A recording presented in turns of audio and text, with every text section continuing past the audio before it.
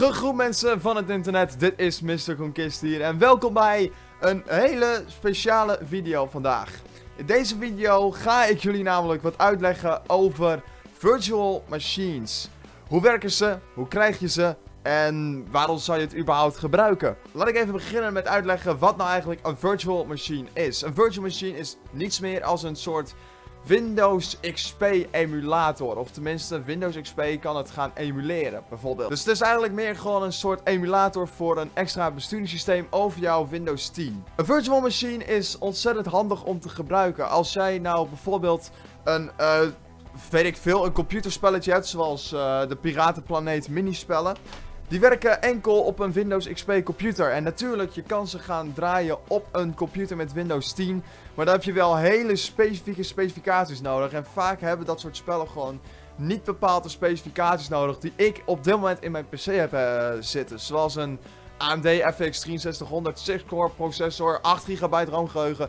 Dat is allemaal veel te zwaar voor een spelletje als deze. Daarvoor zou je dus een emulator moeten hebben voor Windows XP. En ik ga vandaag even uitleggen hoe je dat nou eigenlijk precies op je computer kan krijgen. Het eerste wat we natuurlijk even moeten gaan doen is naar de website gaan waar wij onze virtuele machine kunnen gaan downloaden. En dat is in ons geval dus virtualbox.org. VirtualBox is een gratis programma waarmee jij deze virtuele machines kan gaan bouwen. Er zijn ook nog een heleboel andere programma's waar je dit mee zou kunnen gaan doen. Ik gebruik zelf VirtualBox omdat het is gratis en het is ook heel makkelijk te gebruiken. Ik heb ook wel eens VMware Workstation, de trial versie, gebruikt. Maar als je daar echt alles van uit wil halen, dan zul je die echt moeten betalen. Dus ik ga het aan, gebruik gewoon VirtualBox. Eén ding is wel zo, je kan zijn uh, update niet automatisch. Je moet altijd gewoon handmatig gaan updaten. Hoe dan ook, um, als we dan uiteindelijk op die grote downloadknop heb ge uh, hebben gedrukt, waar ik net op heb gedrukt, kom je hier terecht. En hier kun je eigenlijk gewoon je VirtualBox installatieprogramma gaan downloaden. En uh, deze is beschikbaar voor zowel Windows als OS X, als Linux en als Solaris.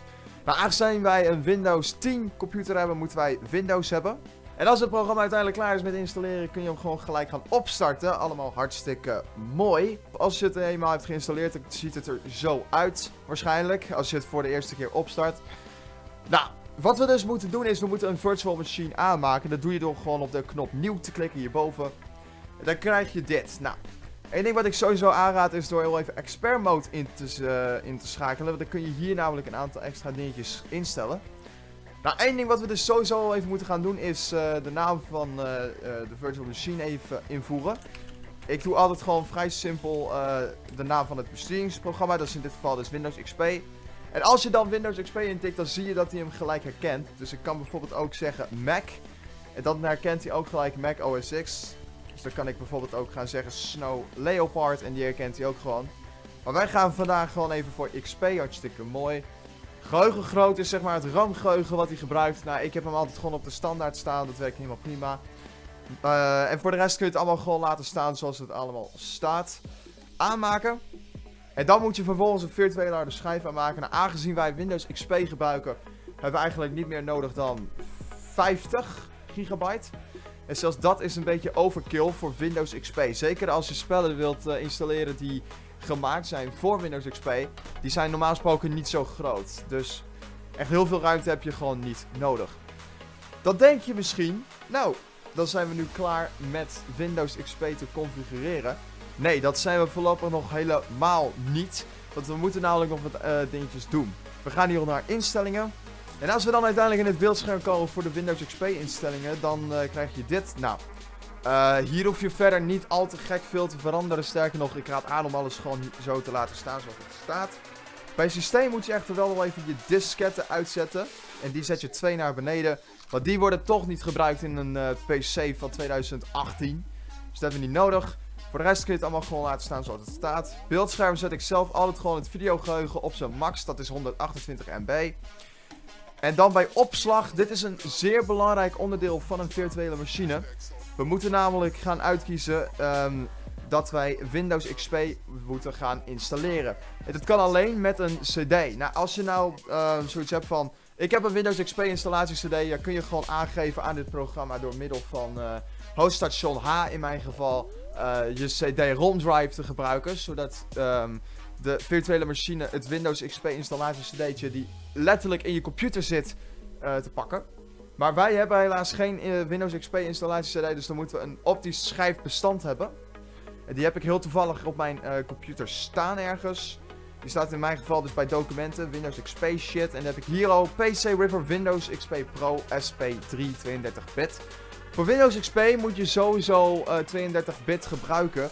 Zeker voor hele oude computergames. Ik kom heel vaak bij die oude computergames. Omdat dat is waar ik persoonlijk Windows XP voor gebruik. En dat is waarschijnlijk ook waar jij Windows XP voor zou willen gebruiken. Of misschien gewoon om even te zien of dat Windows XP nog bruikbaar is in 2018. Maar dan kun je gewoon net zo goed de fysieke hardware gaan kopen.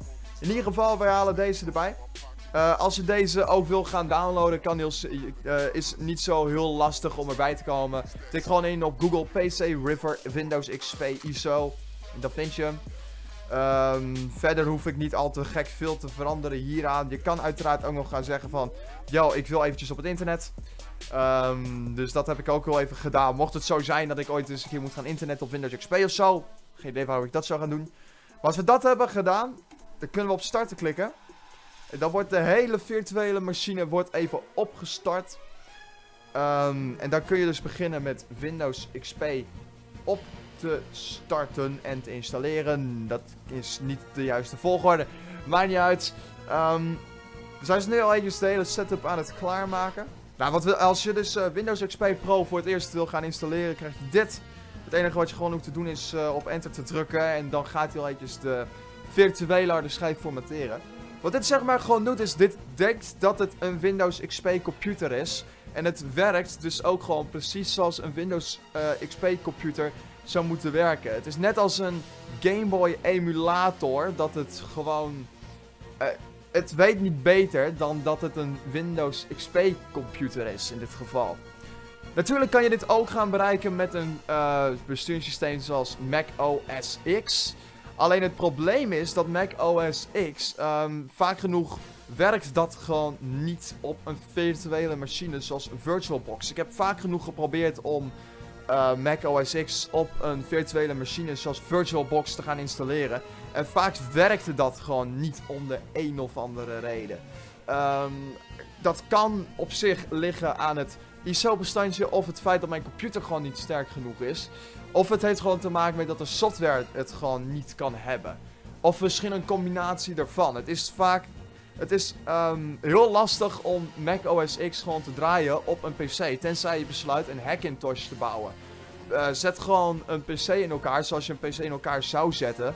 En installeer er dan vervolgens gewoon Mac OS X op door gewoon een Mac OS X installatie CD te pakken. En dan ga je daar gewoon uh, Windows uh, Mac OS X vanaf installeren. Maar ja, hey, je moet er maar gewoon eventjes een beetje verstand van hebben van hoe dat allemaal werkt. Ik heb geen idee hoe het allemaal in zijn werking gaat. Dus ik ga er maar niet al te veel aandacht aan besteden. Hoe dan ook, um, de disk, de volledige exter externe harde schijf, um, virtuele harde schijf is geformateerd. En nu is die Windows aan het klaarmaken um, om uh, te worden gebruikt. Wat hij nu gewoon even aan het doen is, hij is alle uh, uh, applicaties van Windows XP en alles is hij al aan het installeren. Um, dit kan afhankelijk van hoe snel jouw computer zelf is, een tijdje duren. Maar ik heb een redelijk snelle computer, dus het zal maar vrij snel gedaan moeten zijn. En als dat uiteindelijk gedaan is, dan kunnen wij Windows XP daadwerkelijk configureren en dan kunnen we er gebruik van maken. En Windows XP leeft. We zijn hier uh, aanbeland op het Windows XP uh, welkom scherm. Dat houdt dus in dat wij kunnen beginnen met het gebruik van Windows XP. Uh, help protect your PC. Je kan hier gewoon even lekker de stappen volgen. Nou, we hoeven niet per se verbonden te zijn met een netwerk. Registreren met Microsoft Now helemaal niet nodig. Ik ga mezelf wel eventjes aanmelden als Astral Thunder hierop. En dan zijn we klaar. Het gebruik van Windows XP kan worden gebruikt. Oké, dat is heel slecht Nederlands. Windows XP kan uh, worden gebruikt. Um, je krijgt ook als het goed is gelijk je, uh, het startscherm in je Mac. Dus zie je al gelijk een aantal applicaties die je kunt gaan gebruiken. Waaronder de uh, Windows Media Player 9 staat erop. Je computer might be at risk. dat kan best kloppen, want we hebben geen virusbeveiliging op ons eh, Windows XP. Ehm, en huppakee, hier hebben we dan onze prachtige Windows Media Player uh, 9 nog. Oh, dit vond ik wel echt de mooiste media player van Windows, by the way. Die goede oude tijd. Uh, je hebt Movie Maker. Een hele Frankenstein versie van Movie Maker nog. Oh man. Zo mooi om terug te zien. Um, dus zoals je ziet, alles werkt hierop gewoon. Uh, oh kijk, nou, daar heb je weer een aparte uh, resolutie voor nodig. We hebben hier ook de timeline van Movie Maker. Het zit er allemaal gewoon op.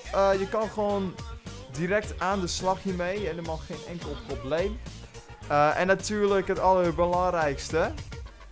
Solitaire zit erop. Spider Solitaire, to be exact. Het zit er allemaal gewoon bij. Je kan er gewoon lekker gebruik van maken. Um, dit was dus even mijn snelle tutorial. Tenminste, snelle tutorial. Over hoe je nou eigenlijk een virtual machine kan gaan installeren op jouw Windows 10 computer. Uh, ik zal even een paar linkjes in de beschrijving zetten, mocht dat lukken. Uh, van een aantal dingen die ik gebruikt heb in deze video. Waaronder dus VirtualBox, de PC River, Windows XP ISO. En nog uh, een paar andere dingen die je misschien zou kunnen gebruiken. Als dat tenminste in de beschrijving kan worden gezet. Als ik dat tenminste kan vinden. Um, in de tussentijd zet ik al eventjes de resolutie van mijn eigen Windows XP even wat hoger. Want dit is natuurlijk wat te klein. Laten we zeggen dat dit een groot genoeg. dit is wat te groot. Oké. Um... Sorry jongens. Je moet er wel even bij. Zo. Dit is prima. mocht je nog vragen hebben over uh, hoe een virtual machine werkt. Of mocht je uh, tegen problemen aanlopen. Laat ze vooral eventjes weten in de comments sectie beneden in deze video. En als je er toch bezig bent en je vond dit een toffe video, laat het dan eventjes weten met een duimpje omhoog. En als je nog meer van dit soort awesome video's wilt zien, elke maandag om 6 uur een gloednieuwe video hier op dit kanaal. Uh, dan raad ik je aan om zeker even te abonneren op dit YouTube kanaal Mr. Koenkist. En om wel eventjes op dat belletje te klikken, dan weet je zeker dat je nooit geen video meer van mij hoeft te missen. Dit was dan Mr. Koenkist hier en ik zeg tot maandag.